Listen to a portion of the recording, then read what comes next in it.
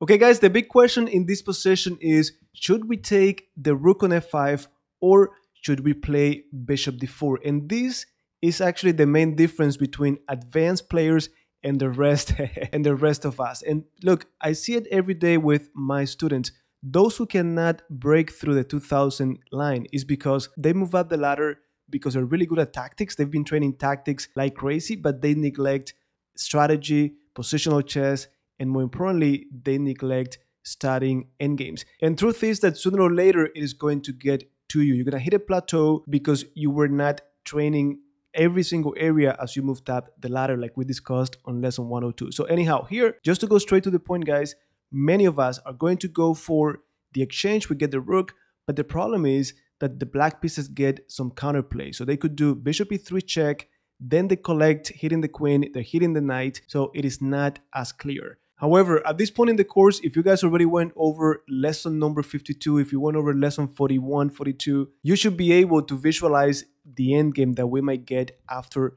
bishop d4. So number one, we look at candidate moves. We have talked about this so much. Bishop f5, bishop d4. We look into each one of them and we visualize the resulting position. Now, if you have not been following this YouTube channel from the beginning, well, at least you should know that chess is all about pattern recognition, right? And we talk we have talked so much about tactical patterns like just getting the exchange, fork spins, and so on. But we gotta talk and reinforce positional strategic patterns as well. And that's why only some of you guys are gonna be able to quickly detect there is a weak pawn on e6, there's a weak pawn on b5, and this is going to be a liability for my opponent. This is gonna make it very easy to convert an end game. So instead of going for this unclear variation, we go bishop d4 and then after bishop takes, queen takes, don't forget, I'm thinking of the end game. So if I could trade off queens, then less less counterplay for my opponent, the closer I get to the end game, and the, the, the more these pawns become liabilities for the black pieces. So after queen takes, pawn takes, this is officially, guys, a backward pawn. So if you don't know what this is or how to take advantage of backward pawns, you gotta go back to lesson 42, 43. And then, of course, you got the pawn on b5 that cannot be defended by, no, by another pawn either. And if you go a little bit a little bit deeper, well, you're going to pay attention to the minor pieces. Look at this bishop blocked by the pawns in the center. That's a bad bishop.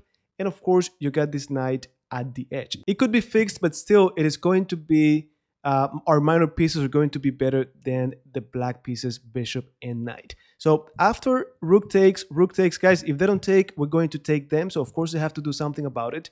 And now we get into we're getting closer into this endgame. And if you think about it, everything was guys pretty much forced. If you don't take me, I'm going to take you. And I continue to hit this rook. Because the thing is, I don't want to take it if you're going to get counterplay. But now that I did bishop d4, I'm ready to take on f5, even rook f5 because we have a pin. So anyhow, we got to that endgame. Now, how do we convert how do we convert this position into a win? Well, I want to pay attention to the pieces that I simplify. Don't forget, simplification is about the pieces that you leave on the board, not only about what you take. So ideally, I would leave my opponent with this bad bishop, and I try to capitalize on the weak pawns. Now, many times, one weakness is not enough. We have talked so many times about the principle of the second weakness. So there's one weakness over here. I gotta make sure that I leave him with another weakness on the queen side. That way, they cannot defend them both. So here, pawn to g4, hitting that knight, they have to do something about it. And now 8 takes before, 8 takes before.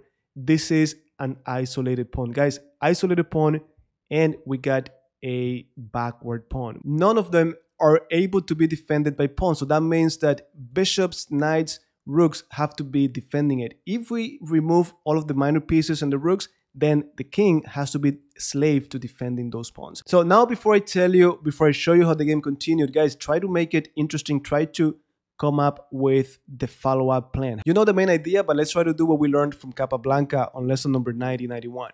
Think of the ideal position that you want for your pieces. Where do you want the king to end up? Where do you want the knight? Where do you want the rook? And if you do that consistently, guys, in your games, whenever you're practicing, you're going to get so good at it that it's going to become natural to you. Just like when you find a fork or a pin, these ideas that are deeper, they're going to become very familiar to you. So look, basically what we want now, we want this knight to go to e5. We should be able to identify that outpost for the knight. By definition, in front of every uh, backward pawn, there's going to be a weak square and we're going to use it for our knight. Now the king, we know endgames, we gotta centralize the king and we bring it to e3. And then don't forget, I want to leave them with the bad bishop. So if I could trade this knight, great. Also because it's defending the weak pawn. Uh, so anyhow, the game continued with knight f3, very simple, nothing extraordinary. 98, knight gets to e5. So first part of the plan is already done. And then next, I gotta bring the king, I gotta centralize the king. So knight d6, looking for good squares for the knight, there's none. So king f2, bishop a6, trying to trade the bishop. Guys, we cannot have it all. At least they get to trade bishops, but anyhow, we're going to have the superior position. So king e3, king is centralized, knight is centralized, and after bishop takes, immediately I'm going to be putting pressure on the weak pawn. Very important, at this moment, I want to remember that this is my win. My win is going to be on the weak pawns. And I'm saying this because here it doesn't really work, but sometimes your opponent is going to try to create counterplay, right? And here, again, it doesn't work because I take and I defend the pawn. But be very careful with trading pawns, uh, giving your opponent something to get the pawn. That pawn is going to be a liability for the remaining of the game. So don't give him anything. If I didn't have this move defending, I'll be securing my pawn. Only then I proceed to put pressure on that pawn that is going to fall no matter what. So anyhow, in this game, we got rook c8 hitting the pawn. We take and we continue to defend. And right now, guys, we got a passed pawn. This is already pretty easy to convert for the white pieces. So rook c3, king f4, we continue to activate the king. Look at this knight. No one can hit it, and he continues to defend the pawn. That is the base pawn that defends b3. So now my king could go to e5 and go after the other weakness. So king f8, and now guys, nothing fancy. We don't need any discover checks or anything like that. The only thing we need, and by the way, king e5, king e7, they should be fine. The only thing we need is to simplify the game. So rook f3, the closer we get to the end game, the more powerful my asset is going to become, and the more of a liability this pawn is going to be on e6. So rook f3, rook goes back, of course, king e3, king e7, king d2, and after 94, I'm simply going to hide. That said, guys, I don't need to prove anything. I don't need my king to get checkmated.